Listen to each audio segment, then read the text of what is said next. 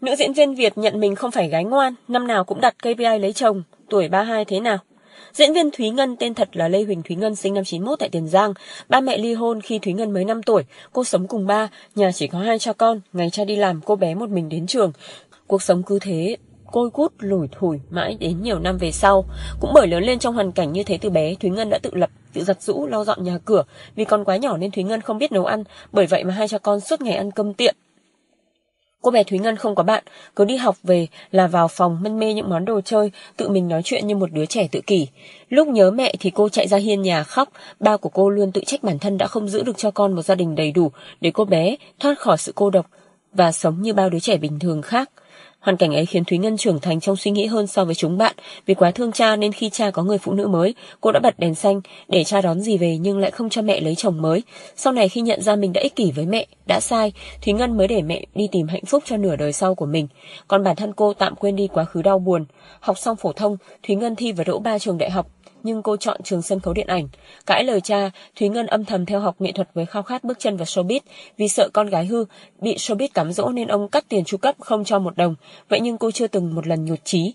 Thúy Ngân được công chúng biết đến lần đầu từ cuộc thi Nữ hoàng trang sức Việt Nam 2009 với danh hiệu áo hoàng 1, top 20 Hoa hậu Việt Nam 2010, top 15 Nữ hoàng du lịch quốc tế 2011.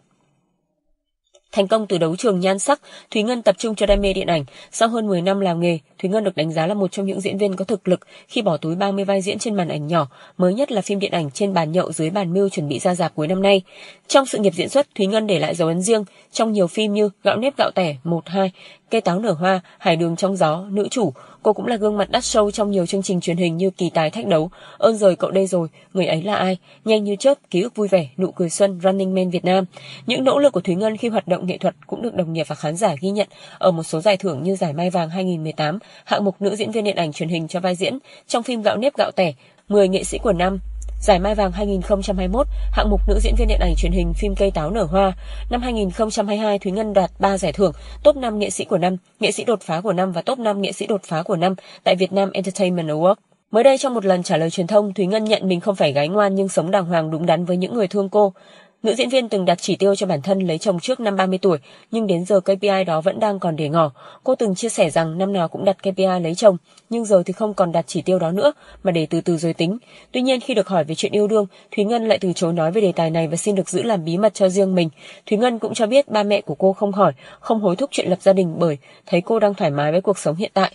Thúy Ngân tin vào duyên số và chấp nhận mọi thứ đến và đi với mình một cách tự nhiên, chứ không cố chấp hay đau khổ. Chuyện yêu đương hay lập gia đình cũng vậy. Ở tuổi 32, Thúy Ngân tâm niệm cô muốn dành nhiều thời gian hơn cho gia đình, bởi đặc trưng của nghề lại đi phim nhiều nên cô ít có thời gian kề cận bên cha. Do đó thời gian sau này nữ diễn viên sẽ cân đối giữa công việc và gia đình chứ không tất bật đi show như trước. Thúy Ngân chốt kèo cưới năm 2023 đã có MC quốc dân làm chủ hôn. Lần này, Thúy Ngân đã có những chia sẻ bất ngờ về chuyện tình cảm của bản thân. Đứng trước đông đảo đồng nghiệp khán giả, Thúy Ngân chia sẻ, bình thường mọi năm em hứa với ba em thôi, mà xong em không thực hiện được. Năm nay em hứa với tất cả mọi người là em sẽ bước vào cuộc đời của một người nào đó và ở lại đó luôn. Lời hứa của Thúy Ngân khiến MC Trấn Thành bất ngờ, anh chỉ ra điều bất thường. Không có ai rảnh mà hứa nha quý vị. Phải có rồi mới giả bộ hứa cho ai coi tivi ở nhà người ta khoái. Thấy đàn anh nhiệt tình, Thúy Ngân không khỏi bất ngờ. Cô tiếp tục đặt vấn đề về việc liệu Trấn Thành sẽ làm chủ hôn cho lễ cưới của mình hay không. Trấn Thành đáp lại. Anh là đại lý của em mà. Kiểu gì kiểu gì cũng phải qua anh trước đã để anh coi. Anh check hàng cái đã rồi anh mới giao qua cho chính chủ. Quý vị hãy liên hệ em, em là anh trai của nó, đại diện nha quý vị. Chuyện tình cảm của Thúy Ngân vẫn là điều người hâm mộ cô trông chờ bấy lâu. Từ trước đến nay cô vẫn khá kín tiếng trong các vấn đề về đời tư. Lần hiếm hoi Thúy Ngân nhắc về tình yêu là năm 2018. Khi ấy cô trả lời phỏng vấn và tiết lộ từ khi lên thành phố Hồ Chí Minh đã trải qua hai mối tình.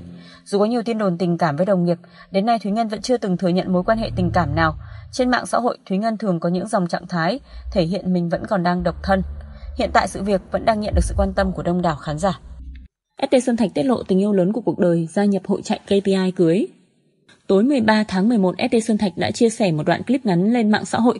Trong clip, dàn sao hot như Trường Giang Ngô Kiến Huy Dung Phạm Lan Ngọc Chris Van được hỏi ấn tượng về ST là gì và mọi người đều dành những lời có cánh cho nam ca sĩ như đẹp trai, lành tính thật thà.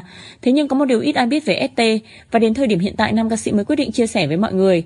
ST nhắc đến một tình yêu lớn lao và mãnh liệt, điều giúp anh được sống tự do trong một thế giới riêng. Tình yêu đó giúp ST được kể những câu chuyện về mọi thứ xung quanh cho khán giả của mình cùng cảm nhận. ST chia sẻ Tuy nhiên, Những phân đoạn quan trọng nhất lại được ST giấu sạch khiến fan tò mò danh tính tình yêu to lớn đó rốt cuộc là ai, hay điều gì mà đến tận bây giờ nam ca sĩ mới chịu công khai với khán giả.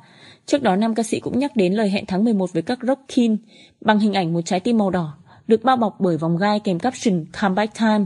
Không ít fan cho rằng có vẻ ST sẽ gia nhập hội chạy KPI cưới bởi không chỉ có hình ảnh trái tim mà ngay cả đoạn clip cũng được quay trong lễ cưới của Puka Jin Tuấn Kiệt. Trái tim tượng trưng cho tình yêu, anh sắp lấy vợ chứ gì? Có khi nào showbiz bão cưới không vậy? Chờ bước ngoặt của Etty là những bình luận bên dưới hình ảnh mà Etty đăng tải. Tuy nhiên cũng có fan cho rằng đây là một dự án lớn của nam ca sĩ vào cuối năm, bởi cách đây vài tháng Etty từng hỏi ý kiến fan rằng nếu anh kết hợp với hoa hậu, á hậu hoặc nữ diễn viên thì đâu sẽ là cái tên phù hợp. Hơn một năm kể từ thành công của Ngày Thương Tháng Nhớ Năm Đợi, Etty Sơn Thạch chăm chỉ chạy show khi là khách mời trình diễn của nhiều sự kiện đình đám hay góp mặt trong nhiều game show. Nam ca sĩ cũng liên tục được nhiều thương hiệu lớn chọn mặt gửi vàng để cùng hợp tác. Vì vậy các fan của ST rất chờ đợi nam ca sĩ sẽ sớm trở lại với âm nhạc. Thúy Ngân trở thành cái tên nghệ sĩ được người hâm mộ nhắc đến nhiều nhất trên các diễn đàn showbiz Việt. Người hâm mộ vô cùng quan tâm đến cuộc sống cá nhân của Thúy Ngân, đặc biệt khi ở dòng story mới nhất cô viết: "Sáng mở mắt nghe tin chấn động để tôi yên dùm đi trời, đừng có giỡn nữa hỏng vui, tôi ế."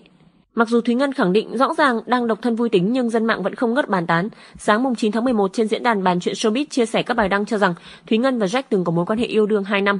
Bằng chứng quyết định nhất là ảnh chụp màn hình điện thoại, nữ diễn viên đặt tên bạn trai là anh chồng yêu và hình đại diện rất giống với bức ảnh avatar từ tài khoản Instagram của Jack. Ảnh chụp màn hình điện thoại của Thúy Ngân được cho là dò dỉ từ hậu trường sâu thực tế hành trình rực rỡ. Chi tiết này được thám tử mạng kết luận trùng khớp với những tiết lộ của Trường Giang gần đây về nữ diễn viên. Trong đám cưới Puka, Trường Giang vô tình cho biết cô em thân thiết vừa kết thúc một mối tình khoảng 4 tháng trước. Sau đó cây hài xứ Quảng được mệnh danh là Dispatch Việt Nam liên tục ghép đôi Thúy Ngân và ST Sơn Thạch, khiến thuyền viên từng nhiệt tình ghép cặp cho hai nghệ sĩ có thêm hy vọng. Vốn là nữ nghệ sĩ sở hữu nhan sắc ngọt ngào, phong cách duyên dáng trên các game show, Thúy Ngân cũng được khán giả khen đẹp đôi khi kết hợp cùng ST, Trương Thế Vinh, Jun Phạm và nhiệt tình đẩy thuyền. Với động thái mới nhất trên mạng xã hội, Thúy Ngân khẳng định đang là thành viên của hội độc thân. Dẫu vậy lời chia sẻ cũng không có chi tiết nào cho thấy nữ diễn viên có hai năm hẹn hò Jack trong quá khứ hay đang tìm hiểu đối tượng mới. Đặc biệt khi nổ ra tin Thúy Ngân từng hẹn hò với Jack trong quá khứ, người hâm mộ ngỡ ngàng thất vọng. Nguyên do được cho là thời điểm bắt đầu hẹn hò cũng là lúc Jack bị ném đá vì scandal lăng nhăng thiếu trách nhiệm với con đến mức phải ở ẩn. ST Sơn Thạch đưa Thúy Ngân đi lựa nhẫn cưới chuẩn bị cho hôn lễ năm nay. Hôm nay ST Sơn Thạch đưa Thúy Ngân đến thế giới kim cương tại thành phố Hồ Chí Minh để lựa nhẫn cưới. Được biết cặp đôi sẽ tổ chức đám cưới hoành tráng trong tháng này. Bây giờ Thúy Ngân và ST Sơn Thạch cùng nhau đi lựa nhẫn cưới chuẩn bị cho hôn lễ. Thúy Ngân lựa chiếc nhẫn cưới vô cùng tinh xảo và đẹp mắt, đính một viên kim cương to như hột mít và được ST Sơn Thạch hết lời khen vì cô lựa chiếc nhẫn rất đẹp. ST Sơn Thạch lựa cho mình chiếc nhẫn tinh tế sang trọng, đính một viên kim cương ẩn dưới chiếc nhẫn nhìn vô cùng đẹp mắt. Được biết cặp nhẫn cưới của Thúy Ngân và ST Sơn Thạch trị giá hơn 6 tỷ đồng nên có thể thấy được độ chịu chơi của cặp đôi. Dự là đám cưới của cặp đôi cũng sẽ vô cùng hoành tráng.